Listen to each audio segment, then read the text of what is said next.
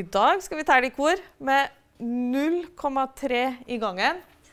Før vi begynner å telle, så har jeg lyst til å utfordre dere litt på hva betyr 0,3? Hva er verdien til 0,3? Kan dere diskutere det to og to?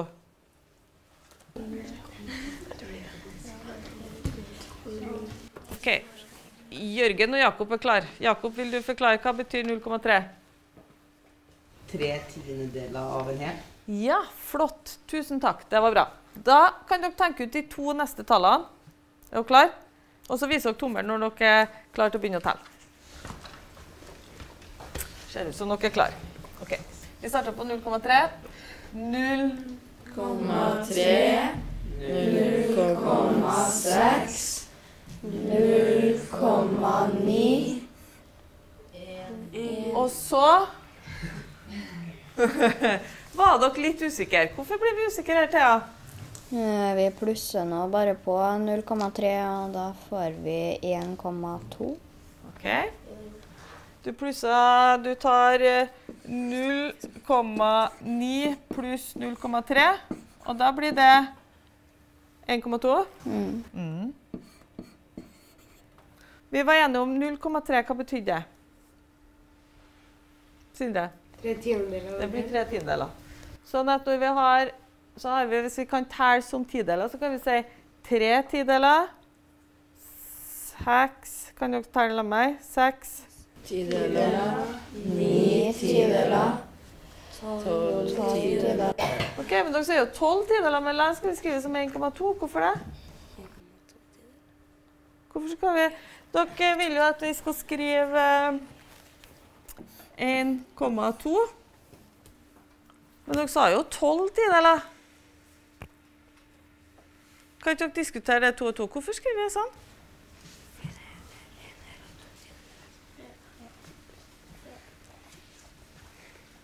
Ok, Er det noen som er klar forklaring? Aurora?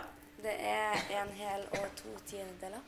Ok, så tolv tideler det er det samme som en hel og to tideler. Ja. Å, flott. Hva var det Aurora sa, Peder? Tolv var En hel pluss to tideler. ah, Kjempefint. Da er vi klare til å telle videre, tenker jeg. En.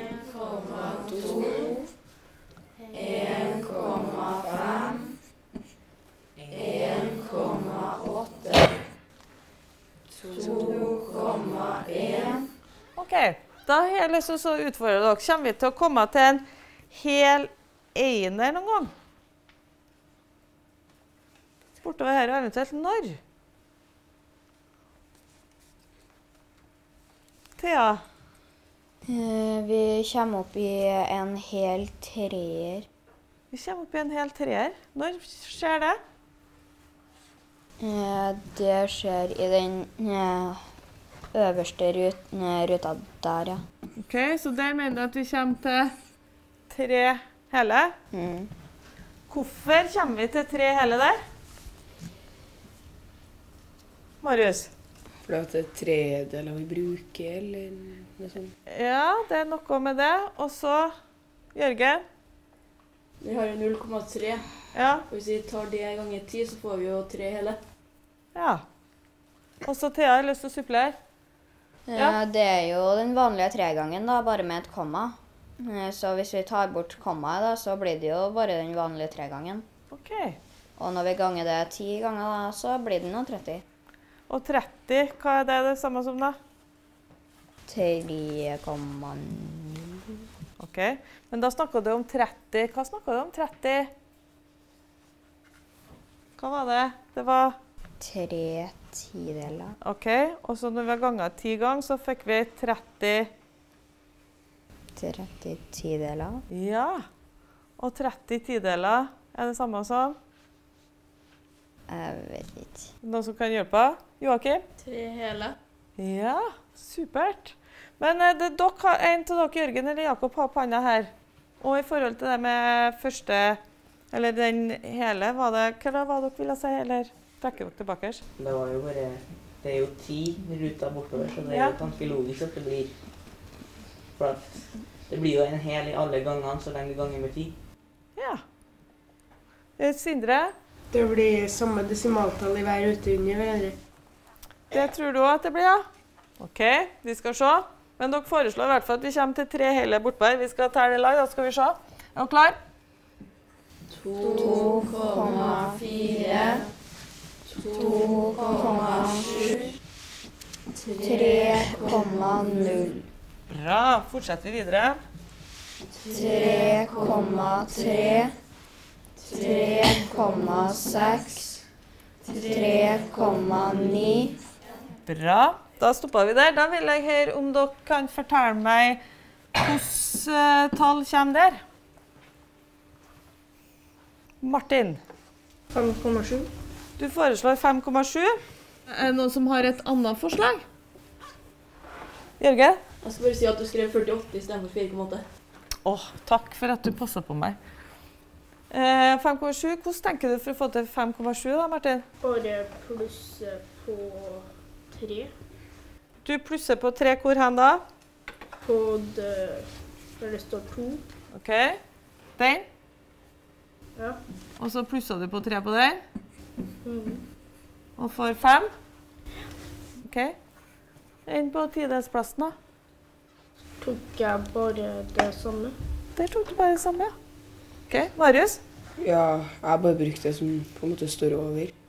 du brukte det som sto over. Nei, det er på en måte Det er en Jeg vet ikke hva jeg skal kalle det.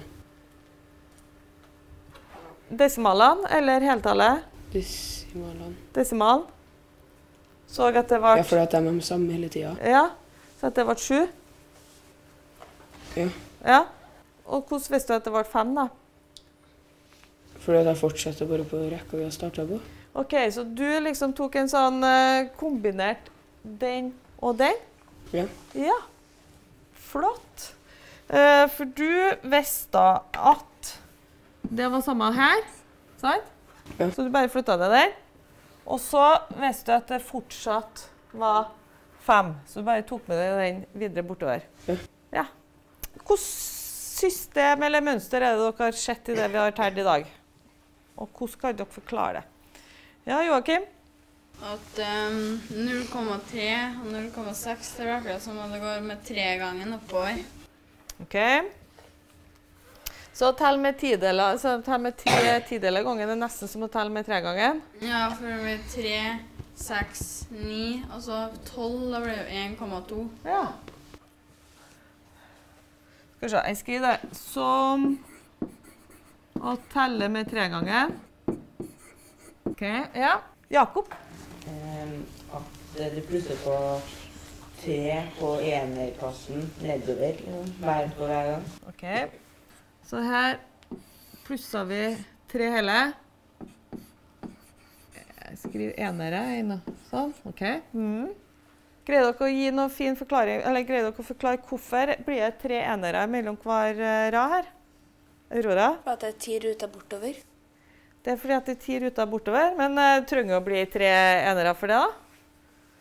Fordi om det er ti ruter bortover? Fordi vi bruker 0,3 som ganger på hver gang. OK. Så du sier at eh, 0,3 ganger med 10 Det er det samme som Det er 30. Eh, 3,0. Ja, men det var lurt at du sa 30, for hva er det? Det er 30 Tiendedeler. Det er 30 tiendedeler, ja. Og 30 tiendedeler er det samme som Tre hele. Ja, flott. Ja, Jørgen? Hvis du ganger noe med 10, så flytter du jo desimalen én gang til høyre. Ja. Til å litt tilbake til forklaringa hennes. Aurora, kan vi bruke den som forklaring på hvorfor vi får lov til å flytte komma én plass til høyre? Kan dere diskutere det to og to?